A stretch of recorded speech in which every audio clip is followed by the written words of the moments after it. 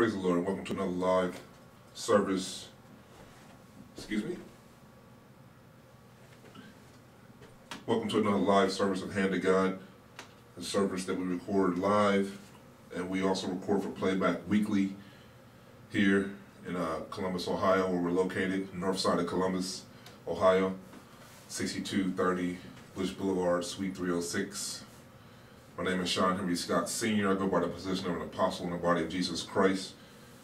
And as we have been doing for the past year since October, we've been on a Jesus 365 series by which we're preaching nothing but the gospel of Jesus Christ for 365 consecutive calendar days in our on our Sabbaths, which is Saturday, which is when we honor the Lord in our ministry. I would like to for you to uh, turn to the gospel according to Luke, the gospel according to Luke. And as always, we read out of the King James Version of the Bible. And um, if you're following along, and before we do, we always pray. Father, in the name of Jesus Christ, we just thank and praise you for yet another opportunity to be in the land of the living. We take it not for granted, Father God, that our fingers are working, our hands is working, arms, chest, eyes, Father God, our feet, our ears, Father God. I don't take any part of the anatomy of the human body for granted that is working because I know it's only by your grace and your mercy that we're here right now in the name of Jesus Christ. I just pray, Father God, by the power and authority of the Holy Spirit, that Father God, you'll begin to move on someone right now in the name of Jesus who needs to hear a word from you. It's written in the book of Psalms, Father God, that you sent your word and you saved them from the destruction. Just pray, Father God, that there's somebody out there in despair, don't know which way to go, don't know what to do, Father God, they would receive a word from you right now in the name of Jesus from somewhere, anywhere, Father God, that will help uh, help them understand there is a way out. The enemy sometimes will make us think that there's no way out, that we're painted to a corner, that we have no other option. I just pray, Father God, you send your word to, to save them from their own destruction. In the name of Jesus, they created in their mind. I just ask and pray, Father God, the words of my mouth and the meditation of my heart be pleasing in your sight. I just want to be clear. I want someone to understand what you're saying to their spirit, to the church, Father God. I just pray these things by the power and authority of Jesus Christ. Hallelujah and amen. Once again, we're in the Gospel according to Luke, starting a new chapter today, chapter 1, and we'll uh, get through this and move on. Amen. So, if you're there, it reads on this wise, For as much as many have taken in hand to set forth in order a declaration, excuse me, of those things which are most surely believed among us. Which are surely believed among us. I already like, that's the first first scripture, and I already feel the Spirit saying something. For as much as many have taken in hand to set forth in order a declaration of those things which are most surely believed among us, even as they delivered them unto us, which from the beginning were eyewitnesses and ministers of the word. Excuse me. Verse 3 It seemed good to me also, having had perfect understanding of the things from the very first, to write unto thee in order, most excellent, excellence, excellent, excuse me, Theophilus, that thou mightest know the certainty of those things wherein thou hast been instructed. It's a whole lot of meat from verse 1 to verse 4 already. I'm not feeling compelled to stop, but it's a whole lot of meat in the first four verses of Scripture. Verse 5, There was in the days of Herod the king of Judea a certain priest named Zacharias, a certain priest named Zacharias, of the course of Abia, and his wife was of the daughters of Aaron, and her name was Elizabeth. 6. And they were both righteous before God, walking in all the commandments, the ordinances of the Lord, blameless. Seven, and they had no child. So the Bible says, I want to make it clear because there are some people out there right now who struggle with the fact that God won't bless them with a child. But it says right here that uh, they were blameless and they was walking, walking in, in the commandments and the ordinances of the Lord, blameless, and they had no child because Elizabeth was barren, and they both were now well stricken in years, they was old, and it came to pass that while he executed the priest office before God in order of his course. According to the custom of the priest office, his lot was to burn incense when he went into the temple of the Lord. That was his job as a priest. 10. The whole multitude of the people were praying without at the time of incense. And there appeared unto him an angel of the Lord, standing on the right side of the altar of the incense. So he's doing his job in the, in the temple, and there appeared to him an angel on the right, right, and that's not a place where anybody should be at. And when Zechariah saw him, he was troubled, and fear fell upon him. But the angel said unto him, Fear not, Zacharias, for thy prayer is heard. And thy wife Elizabeth shall bear thee a son, and thou shalt call his name John. I love the fact that God will not only tell us that our prayers have been heard, but he will give you instruction according how you are to answer your prayer. Your prayer has been answered and the instructions you're supposed to follow. There's never, I want to say this before I move on, there's never been a time in, in the history of the Bible, in the belief of, of humankind in the Bible in Jesus Christ, that where God will leave any room for guessing. When he gives you, that's why sometimes people tell me the Lord said this, the Lord said that, and there's there's a mystery. I'm like, that's not God. God is not a confusing thing. He will give you, when he gives you instructions, he's going to tell you everything you need to know to do what you need to do to fulfill what he told you to fulfill. And 14, and thou shalt have joy and gladness, and many shall rejoice at his birth. For he shall be great in the sight of the Lord, and shall drink neither wine, more instructions, he shall drink neither wine nor strong drink, and he shall be filled with the Holy Ghost, even from his mother's womb. 16. And many of the children of Israel shall he turn to the Lord their God. Now I want you to hear this, because that's key. And he, excuse me, 16. And many of the children of who? Israel shall he turn to the Lord their God. So right there, the angels let them know there are a lot of the children of Israel. Now, the, the children of Israel were the chosen people of God. And right there, he's letting you know he's going to turn the children of Israel to God, which, which is where they should already be. I tell people so often that there is the people that's in the pews that are already accepted Jesus Christ as their Lord and their Savior that are often serving other gods. And, and, and because they're following after the traditions of men and they've been sifted they don't even know it because they still go through the motions of, of going to church and paying tithes, even speaking in tongues, shouting. They go through all that, but they don't understand they're serving another God. Not in, in not in doing that, but in their daily life and in their choices. They're literally serving little G's, not the big G. And, and, and, they don't want to believe that because they're doing what the people who before them done, which were the traditions of men.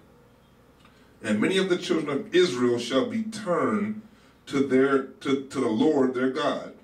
17, excuse me.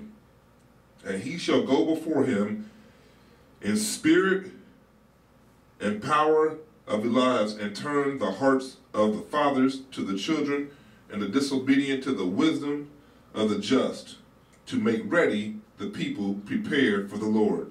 18. And Zechariah said unto the angels, Whereby shall I know this? For I am an old man, and my wife is well stricken in years. This is where we mess up sometimes.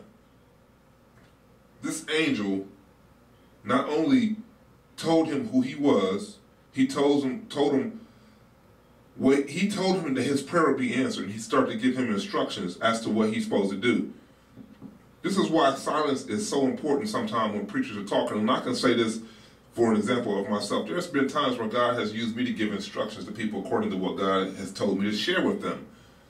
And before I can even really get all the instructions out or say anything, they already have an, a, a response based off of doubt and fear. That lets me know that they don't believe that God is fulfilling what they've been praying for. In other words, you've been praying and believing God for something, and God comes in and, and sends an angel or a man or woman of God to give you instructions according to how you are to, to have your prayer not only answered but be fulfilled and you come with doubt.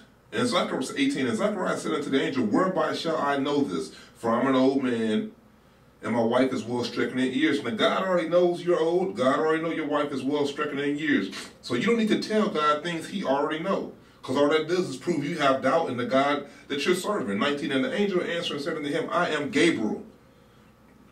I stand in the presence of God, and I am sent to speak unto thee and to show thee these glad tidings. And behold, now look, verse 20 is about to happen because he, all, all because of 18, verse 20 is about to happen. If he, if, if only he would have just been quiet and listened to what the, the Gabriel was saying, verse there would be no need for verse 20.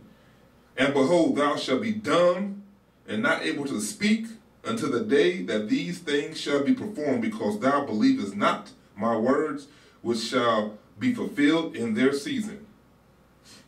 And a lot of people are like, well, I didn't really say anything. You showed doubt. That's a little leaven leavens the whole lump. Now, they it, it, the scripture has already showed us by way of evidence that she was barren. They walked blameless before God and, and followed the ordinances. They did everything as believers they're supposed to do because so often we think that we're not doing something and that's why God has not given us what we're supposed to have. We always think that, you know, well, if I do this and I do this, it ain't even according to your righteousness.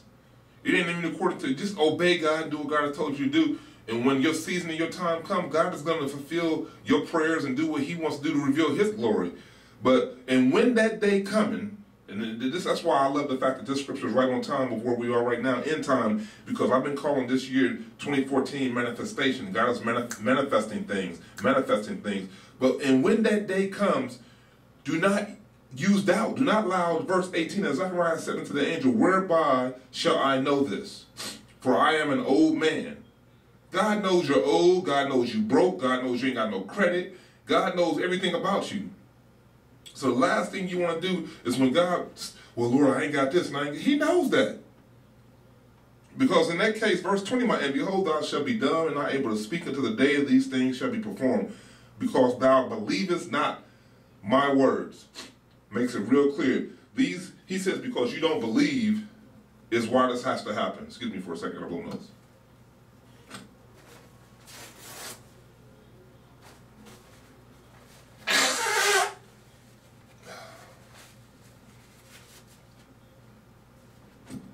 Been on that all year. Believe, believe, believe, believe, believe, believe, believe. And, and, and, according to people read 18, it's like, well, he didn't really say anything to prove that he didn't believe. Let me understand something when you're dealing with God. He knows everything. God knows everything there is to know about you. So that was a lack of faith and lack of belief and, and doubt. And Zechariah, back to 18, and Zechariah said unto the angel, Whereby shall I know this? For I am an old man and wife well stricken years. Really, in reading that, that he, he really didn't display to us any form of doubt or belief. But because Gabriel is who he is, God is who he is, he did in verse 3, And behold, thou shalt be dumb and not able to speak until the day these things shall be performed, because thou believest not my words, which shall be fulfilled in their seasons. He said, that's, that's what he said, because you believe it's not. I can say by testimony that God gave me something about Wednesday, today, Saturday. God gave me something on Wednesday that I was about to say I was too old to receive it, and then God reminded me before I can get the words out my mouth is, is that who, who, who are you and who am I? Our faith, is, our faith, excuse me, is going to be tested from time and time again.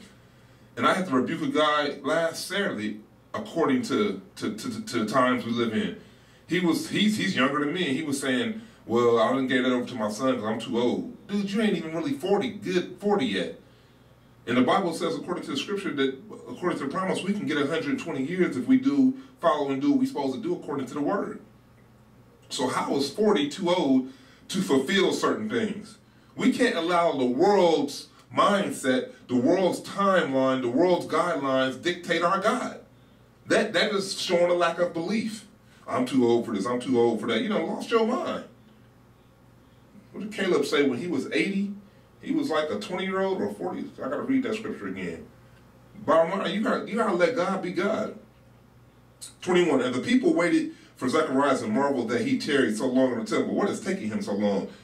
22. And when he came out, he could not speak unto them, and they perceived that he had seen a vision in the temple, for they beckoned unto him and remained and remained speechless. 23. And it came to pass that as soon as the days of his administration were accomplished, he departed to his own house. And after those days, his wife Elizabeth conceived and hid herself five months, saying, Thus hath the Lord dealt with me in the days wherein he looked upon me to take away my reproach among men. So in the Bible days, it was reproach because people, if you was barren, you was looked at like, oh, something wrong with her. She can't have no babies. So she says, to take away my reproach among men. So from the beginning of the time of men, we always been thinking about what people think about us. 26, in the sixth month, the angel Gabriel was sent from God unto a city of Galilee named Zaz Naz Nazareth, excuse me, to a virgin espoused to a man whose name was Joseph in the house of David. And the virgin's name was Mary. And the angel came in unto her and said, Hail, thou art highly favored. The Lord is with thee. Blessed art thou among women. And when, when she saw him, she was troubled at his saying, and cast in her mind what manner of salutation this should be. Wow, man, what kind of greeting is that? And the angel said unto her, Fear not. Now, this is the second time Gabriel had to tell, he, he always, hey, fear not. Don't trip. You know what I'm saying? Because this is something that we're not used to. An angel talking to a person, this is something that's, that's, he's not talking like a regular person. That's why it's so important that when God sends somebody to us, we need to know God by the words of his messengers.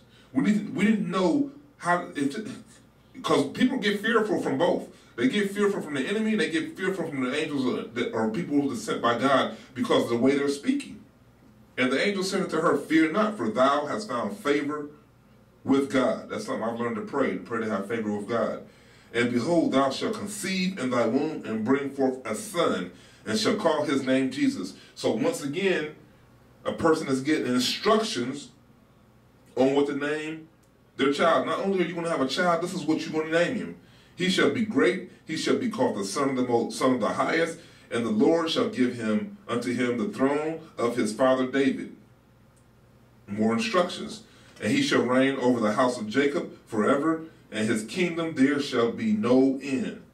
Then, then said Mary unto the angel, How shall this be, seeing I know not a man? Now up here where he said, And the angel said unto Mary, Fear not, for thou hast found favor with God. Back 34, Then Mary said unto the angel, How, how shall this be, seeing I know not a man? And the angel answering said to her, The Holy Ghost shall come upon thee, and the power of the highest shall overshadow thee. Therefore also that holy thing which shall be born of thee shall be called the Son of God. 36, And behold, thy cousin Elizabeth, she hath also conceived a son in her old age, and and this is the sixth month with her who was called barren. For with God nothing shall be impossible. That's an awesome verse of scripture right there. Verse, verse For with God nothing shall be impossible. Old women can get pregnant, and you can get pregnant without a man touching you. 38, and Mary said, Behold, thy handmaid of the Lord, be it unto me according to thy word. She submitting, and the angel departed from her. She's submitting to the, to the calling that's put on her life. She's submitting, he says, and Mary said, Behold, the handmaid of the Lord, be it unto me according to thy word. In other words, I accept the word. I receive the word that you're giving to me. And Mary arose in those days and went, look, she could not wait. I want to say this real quick. God could have chose anybody he wanted to, to, to be to be uh, the mother of John the Baptist. He could have chose anybody. But I feel in my spirit that God chose Elizabeth for the simple fact that once she was old and well stricken in years, it was it was pro proven that they they walked and they followed the ordinances of God. So he's not gonna John's not gonna come from a crazy family. They did everything they were supposed to do according to the word. So, but God could have chose anybody. But not only did He choose Elizabeth, He chose somebody who Mary knew. Because it's something about us when we know somebody who's going through something that we're going through, we we're comforted. We're strengthened in the fact that okay, they going through it, I'm going through it, and we can we can strengthen each other. So, and Mary couldn't wait to go see her. 39, and Mary rose those days and went to the hill country with haste. So she hurrying up. And this angel just said she was six months pregnant, and we know she old, she been barren. So we're gonna go. I'm I want to see this. That's gonna be confirmation to me in the city of Judea, and enter into the house of Zacharias and and and and saluted Elizabeth. And it came to pass that when Elizabeth heard the salutation of Mary, the babe leaped in her womb, and Elizabeth was filled with the Holy Ghost. Now she's filled with the Holy Ghost. The angel already said the baby gonna come out the womb filled with the Holy Ghost. Now Elizabeth is filled with the Holy Ghost on the salutation of Mary coming. And she spake out of the loud, and she spake out with a loud voice and said, Blessed art thou among women, and blessed is the fruit of thy womb. Now that she's filled with the Holy Spirit, she can boldly speak and testify to things that she don't even know. Because the scripture makes it clear that the Holy Spirit will, will, will give us everything and bring all things to our remembrance, whatsoever God has spoken to us. So the angel has already spoken to her concerning her miracle, and she, she feels it growing. She's six months pregnant. Now, because she's filled with the Holy Spirit, she's speaking boldly. And she spake out with a loud voice, saying, Blessed art thou among women. That's why you know when people got the Holy Ghost, because now they're speaking about things that they could not know, but the Spirit of the living God tell them. And blessed, and out a loud voice, said, Blessed art thou among women, and blessed are the fruit of thy womb. And because Mary is not showing. Mary is not six months. She don't know Mary is pregnant. All she knows is she just got filled with the Holy Ghost, and she's speaking. And her words is saying something that she shouldn't even know. And whence is to me that manner of the Lord should come to me? For lo, as soon as the voice of thy salutation sounded in my ears, the babe leaped in my womb for joy. And blessed is she that believeth, here it is, and blessed is she that believeth, for there shall be a performance of those things which were told her from the Lord. He's going to perform what he said. And Mary said, My soul doth magnify the Lord, and my spirit hath rejoiced in God my Savior. For he hath regarded the low estate of his handmaiden. For behold, from henceforth all generations shall call me blessed. She knows she about to be called blessed for all generations. For he that is mighty have done to me great things, and holy is his name. And his mercy is on them that fear him from generation to generation. He hath shown strength with his arm and hath scattered the proud in, in, in the imagination of their hearts. He hath put down the mighty from their seats and exalted them of low degree. He hath filled the hungry with the good type, good things, excuse me, and the rich he hath sent away empty away, excuse me. He hath hopened his servant Israel in remembrance of his mercy. 55 as he has spake to our fathers, to Abraham, and to his seed forever. And Mary abode with her about three months and returned to her own house. So Mary stayed with her three months. Now, when she first got there, she uh, Elizabeth was six months pregnant. So this now three more months, that makes her nine months pregnant. Now Elizabeth's full time came, and she should be delivered as she brought forth a son. Now, Mary stayed until she was ready to give birth, and then she left. I don't know, I probably would have stayed to want to see her, her give birth. But uh, the Bible, it was time for her to go. Excuse me. Now Elizabeth, full full time, came, and she would be delivered and would brought forth a son. And her neighbors, her cousins, heard how the Lord had showed great mercy upon her, and they rejoiced with her. Yeah, because all these same people that looked upon her and said, she look, she's yeah, she go to church, she pay her tithes, she she with her husband, she don't cheat, they don't mess around, they do everything they supposed to do. We ain't never heard of domestic violence. Just they doing everything they supposed to do. But why ain't she pregnant? Why haven't God blessed her? Now, in her old age, God is getting the glory because this is a time this is time past. She ain't supposed to be able to have kids. Now God's gonna give her, He gonna answer her prayer and give her what she's been believing God for. Now it says right here, and her neighbors and her cousins heard not how the Lord has shown great mercy upon her, and they rejoiced with her. And it came to pass that on the eighth day they came to circumcise the child, and they called him Zacharias after the name of the father. Now, in the Bible days, you was named after your father. It was it, it was a no-brainer. That's another thing that's wrong with this generation.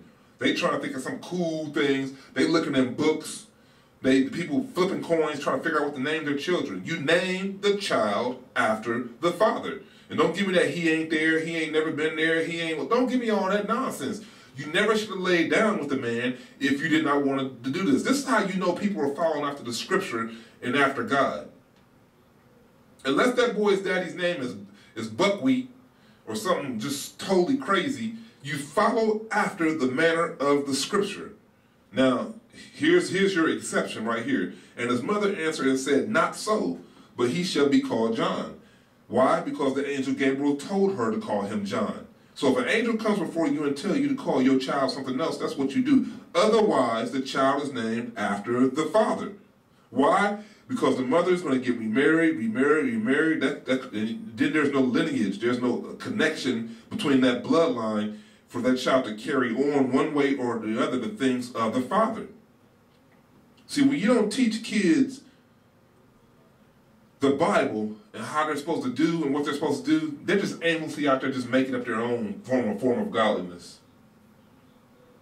There's a reason why a child is named after the father, one way or the other. Even if that father was no good, good for nothing, that child could be raised up by the Spirit of the living God, and, and, and, and that and that curse could be canceled, and he carry carry on a righteous branch from then on, so that family can be saved to the bloodline of that family. And the traditions of men will not follow over into that son, but that son will go on and preach the gospel. And when they look back on that, that family, they was like, wait, hey, hey, hey, hold on. Well, his dad was so-and-so, but this person is preaching the gospel. So look, that's what we'll be known by now. We'll be known by a family who preach the gospel. Getting back on track. And his mother answered and said, Not so, for he shall be called John, and they shall, and they said unto her, There is none of thy kindred that is called by this name. 62, and they made signs to his father. Remember, his father can't speak. And they made signs to his father how he would have him called. So she said, Not so, but they're not going to necessarily listen to her. So they're looking at the daddy who can't speak. And they're making signs to him because he can't speak. And he asked for a writing table and wrote saying his name is John. So they got to listen to him. And they marveled all. They're like, wow, man, they don't write their family name John. Why they calling us just the baby John? And because he was obedient, now remember, his lack of faith and belief is what got him dumb and quiet, got him silenced. But because he was obedient, took him nine months. But because he was obedient, 64, and his mouth was open immediately, and his tongue loosed, and he spake and praised God. So the first thing he did with his mouth, once his mouth got loose, is he praised God. And fear came upon all that dwelt around them, and all them saying, all these saying were noise abroad throughout all Judea and the hill country of Judea. You gotta understand something. These are the Bible days. Ain't no Facebook, ain't no phone, smartphones, ain't no smart TVs, ain't no ain't no CNN, ain't no TMZ. Ain't there ain't too much really going on. You know, a couple cows may be getting tipped every once in a while, some sheep making some noise, but for the most part, there ain't too much going on. That's why when you put yourself in the context of the Bible, and understand what God was speaking and things going on, there wasn't too many distractions. So any any type of thing that, that went on that was outside of the norm was huge news. And that's what it says. And fear came on all that dwelt around about them, and all these sayings were noise abroad throughout all the hill country of Judea. Like, man, you hear what happened? They're going, they're like, man, wow. And all that heard them laid them upon their hearts, saying, What manner of mouth, excuse me, what manner of child shall this be? In the in the hand of the in the hand of the Lord was with him. Excuse me again, I got both notes.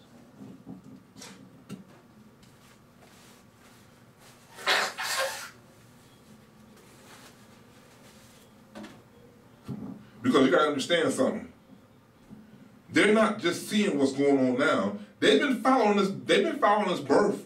These people have been following his birth since day one, since he went in to to minister in the temple. They've been following this this this, this whole situation from day one because they're looking to see what's going to happen. It's like, hold on, old woman, old woman pregnant. Someone probably thinking she ain't gonna she ain't gonna carry that baby term. She too old. She can't carry that baby. Something gonna happen. She gonna have miscarriage. Baby gonna come out. Ain't gonna be right. You know how people think. That's what they're thinking. So they've been following this situation from day one. Now, they don't know too much about Mary except for Mary came to visit. And when Mary came to visit and Mary left, she was only three months pregnant. So they don't really have a full understanding what's going on with Mary yet. So they tripping off of the fact that Elizabeth and Zacharias is about to have a baby with their old self and what's going on because he came out of the temple, he was dumb. So they going, they like, man, you, so the gossip is going crazy. People are tripping like, oh my God. You can understand the setting See, sometimes we think of the Bible, we think about the way it is now. We got so many things to distract us, so many things going on that people get distracted from what God is saying and what God is doing.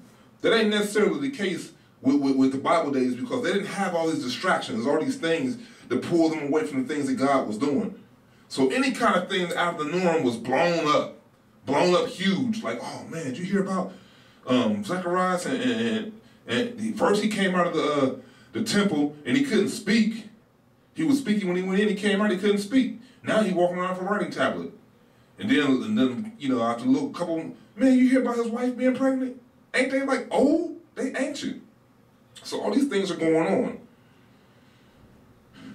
Excuse me, 66. And they and all they that heard heard them laid upon their hearts, saying, What manner of child shall this be? Now they then they said, Oh man, this kid must be something special. All this stuff's going on. And the hand of the Lord was with him. 67. And his father Zacharias was filled, third person to be filled through this situation. First, it was written, I said by Gabriel, that the baby would be filled upon his birth. Elizabeth got filled on the salutation of Mary, and now Zacharias is getting filled. So the whole family is filled with the Holy Ghost. and his father Zacharias was filled with the Holy Ghost and prophesied, saying, That's another sign that you know a person is filled with the Holy Ghost. They have the power to prophesy, to speak those things that are not as though they are uh, uh, so, the power to speak those things that they have no idea what they are, but they're speaking from God, the hand of God. And it's written in Second Chronicles that if you if you believe 2020 that if you believe God, you will be established. You believe His prophets, He will He will prosper you. Getting back on track. 67. His father Zacharias was filled with the Holy Ghost and prophesied, saying, "Blessed be the Lord God of Israel, for He hath visited and redeemed His people." That wasn't his job in the priestly office. His job, according to the Bible, was to do what? What was his job? His job was just to, to light the candles. That's what his job executes says. And it came to pass that while he executed the priest's office before God and ordered his course according to the custom priest's office, his lot was to burn, excuse me, burn incense. So that was his office. In the, now, because he got the whole, now he now that he's filled the Holy Ghost, now that he's filled with the Holy Ghost, this is what he's doing. Blessed be the Lord God of Israel, for he hath visited and redeemed his people. So when a person is filled with the Holy Ghost, they come with Holy Ghost boldness. Yeah, I used to be a person who burned incense. Now I'm some somebody, some a person who's proclaiming the, the gospel, the good news. Blessed be the Lord God of Israel, for he hath visited and redeemed his people, and have raised up a horn of salvation for us in the house of his servant David, as he spake by the mouth of his holy prophets, which have been since the world began. 71 that we should be saved from our enemies and from the hand of all those that hate us, to perform the mercy promised to our fathers, and to remember his holy covenant. 73. The oath which was the oath which he swore to our father Abraham. This, these are things that, that, that Zacharias is speaking now. He got the Holy Ghost now. He coming. 74. That he will grant unto us that we being delivered out of the hand of our enemies might serve him without fear in holiness, righteousness before him all the days of our life. 76. And that child shall be called the prophet of the highest, for thou shalt go before the face of the Lord to prepare his ways, to give knowledge of salvation unto his people by the remission of their sins. Once again, this is Zechariah speaking because he's full of the Holy Ghost. Through the, through the tender mercies of our God, whereby the day spring from on high hath visited us, to give light to them that are sit in darkness and in shadow of death, to guide our feet into the way of peace. And the child grew and waxed strong in spirit, and was in the desert hills to the day of his showing unto Israel. Amen. So we just finished the whole chapter of the Gospel according to Luke. And if you didn't get anything else out of there, I hear the Holy Spirit speaking louder than anything else. You see how the Holy Ghost has supernaturally supercharged your lives once they was filled? You hear people sometimes always debate the power of the Holy Spirit. Now, I remember how I was prior to being filled with the Holy Spirit. Passive, quiet, no boldness, no conviction, speaking what I'm, I think I know, but not necessarily what I do know, because I have to always go back to make sure. But when you're filled with the Holy Spirit, you can boldly proclaim things that you have no earthly idea what you're saying, because it's not you that's speaking, it's the Holy Ghost. speaking those things that need to be heard, that people can be saved, healed, and delivered. I pray in the name of Jesus Christ, you got exactly what you needed to fulfill your calling.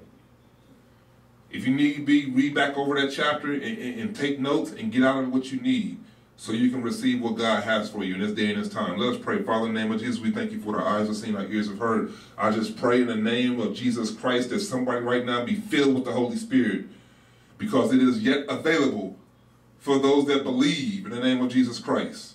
That not only they be filled with the Holy Spirit, Father God, they let the Holy Spirit lead their life, to guide their life, direct their life, so they can speak boldly in this generation the things that need to be spoken so that people can be saved, like it says in the scripture, so that salvation might come, so that knowledge of who to give knowledge and salvation unto the people, Father God, in the name of Jesus, for the, for the by the remission of their sins. I pray, Father God, for Holy Ghost boldness, Holy Ghost truth, that they be led in the name of Jesus, Father God. Not speaking from the wisdom of men, but from the wisdom of God. I thank you, Father God, in the name of Jesus, that you're going to do exactly what you said you're going to do because you already done it. You already fulfilled everything except for coming back, Father God, in the name of Jesus. I pray we come to the full understanding of who you are and what you desire for us to do so that we can give you glory all the days of our lives. We pray this prayer in the mighty and powerful name of Jesus Christ. Hallelujah and amen. My name is Sean Henry Scott Sr. I go by the position of an apostle in the body of Jesus Christ. If you ever need us, call upon us at 614-723-9770. For some reason you can't get a hold of us because it's our office number and we specialize in outreach. You can uh, email us. The email is checked for sure every single day at www.teamjesususa.com. That's www.teamjesususa.com or 614-847-2057. We'll do our very best. But the, the, email is the best way to get a hold of us. And, and, and at the contact in our in our place. And also there's a place where you can donate. So if you feel led, the Spirit comes upon you to give some money, give some money, because we need money to make the ministry runs. We walk in the faith and the favor of God, but hey, money won't hurt neither. Well, I thank you for joining us, and I pray you was blessed. And if, like I said, if you need us, call upon us. May heaven's face smile upon you. May God bless you. In the name of Jesus Christ. Amen.